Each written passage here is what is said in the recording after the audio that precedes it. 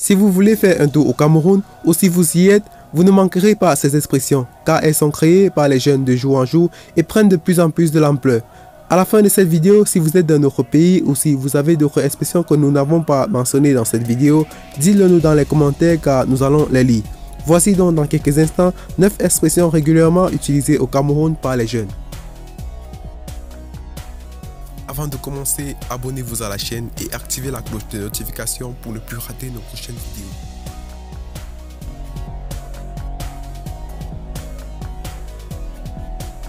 Le ndok, c'est le courage.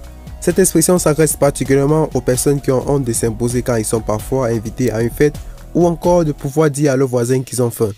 D'une façon générale, elle veut tout simplement dire que si tu ne peux pas avoir le courage de demander, tu n'auras rien. Le tio, c'est la position. Vous êtes-vous déjà rendu à une fête et que vous n'avez rien mangé? Peut-être oui car vous ne connaissez pas encore cette règle.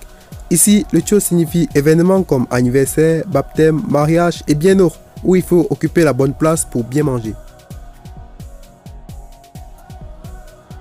Le gros cœur. Cette expression ne signifie pas que votre poitrine est enflée, mais que vous voulez plus que ce que vous pouvez supporter. Généralement, elle s'applique beaucoup plus à des personnes orgueilleuses. Il n'y a rien pour les pauvres. Ceux qui utilisent cette expression sont ceux qui ont besoin que vous leur donnez un peu d'argent. En majorité de temps, c'est parce qu'ils savent que vous en avez ou encore ça peut être une autre chose que la personne sait que vous pouvez lui donner. Ekie ou encore yege. C'est un petit mot que la majorité de la population utilise pour montrer leur étonnement face à une nouvelle qu'ils ont reçue et qu'ils n'acceptent pas facilement. Mon corps s'y fait qu'un jar, un jar. C'est une petite phrase comique mais qui cherche à faire comprendre à son interlocuteur qu'on ne se sent pas bien ou qu'on prévoit une maladie.